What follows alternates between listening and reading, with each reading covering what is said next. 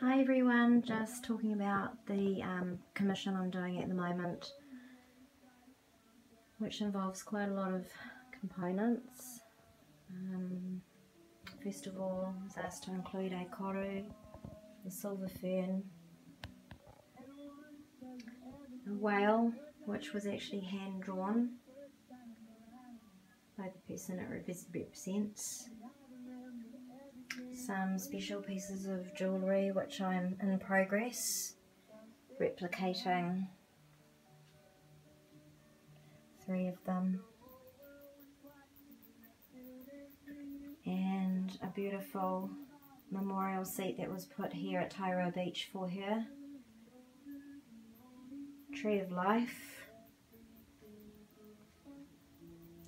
Pohutukawa, all in progress, nothing finished here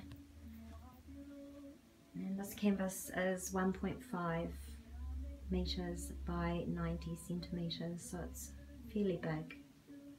I'm just trying to get a balance between this side and this side. And once that park bench gets painted in a bit more, think it's going to really balance it out beautifully and we're going to have some writing put in, some beautiful words of a poem that was written for her memorial. So we're getting there. This has been quite an awesome process.